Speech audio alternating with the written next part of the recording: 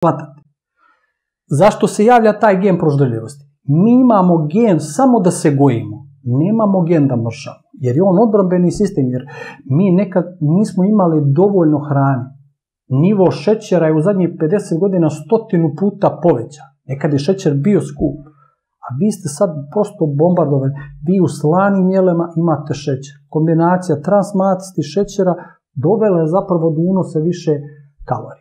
Ako dnevno unosite samo 10-15 kalorija više, za 10 godina vi ste 15 kg teži.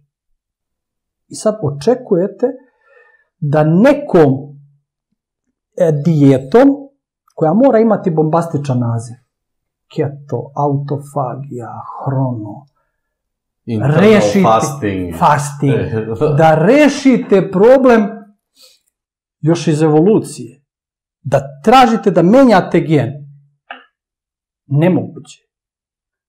A opet ćemo se vratiti malo kako recimo životinje funkcionišu, recimo medved koji pred zimski san odlazi u hibernaciju i on dođe na reku i lovi ribu losos koja ide na mrešćenje 230 km. I recimo istraživali su, jedan divni naučnik, opet navodim referencu, Jason Yellow sa Cambridge instituta to opisuje da medved loveći tog lososa prvih dana jede celu ribu, posle par dana otkida glavu, jede samo kvalitetno meso i kad se najeo, znate šta radi? Uzima ribu i samo sisa slatki sloj masti ispod peraja i baca ribu. I to su oni istraživali i zapravo do kog zaključka su došli? Da životinja puni svoje depoje energije, mišići se puni u, u glikogen se puni u mišićima, u jetri i punimo adipocite masti. Onda on ide u hibernaciju da se snižava metabolizam da bi mogao da ode u taj zimski san. Da li vam se desilo da odete na slavu ili svadbu i pojedete ona predjela, glavna jela, sarme, što sve ima i neko ona domaćica vas nudi, hoćete još? Vi kažete, ja ne mogu više, jel tako? Da. Međutim, kad dođu kolači vi, ili torta, vi pojedete još hiljadu kalorija, bez problema, jel tako? Da, pa ako ima i alkohola, uf. Lepota. Da. A, ali više ovo, ne možete ovo što ste jeli kao glavno jelo. To isto sa medvedom. Znači, vi tražite genetski da dopunite depoje. Ali je problem što mi ne idemo u hibernaciju.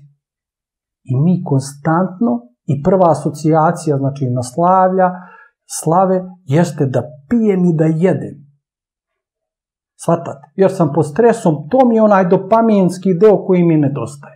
I sad zamislite iz tog jednog nesklada, očekujete da neki režim ishrane vam reši vaš problem. Malo pre sam pomenuo da se bavio gojaznošću, ima jedna takozvana mapa gojaznosti. Ja to često mojim studentima samo pokažem da vide. To je izrađivala jedna šif kompanija koja se bavi izradom grafikona i mapa na jedan kompleksan slikovit način i znate koliko tu različitih faktora ima koji dovode do poremeća energetske ravnoteže. Šta je energetska ravnoteža? Prosto objašnjenje. Da se ne bismo gojili, mi moramo da unesemo neku hranu i da potrošimo, je li tako? Da. Kad se poremeti ta ravnoteža, mi se gojimo. Ali zašto smo se mi ugojili? Psihološki, sociološki, fiziološki, patofiziološki, biološki uticaj. I ta cela mapa opisuje kako mi zapravo sebi izbacujemo iz energetske ravnoteže.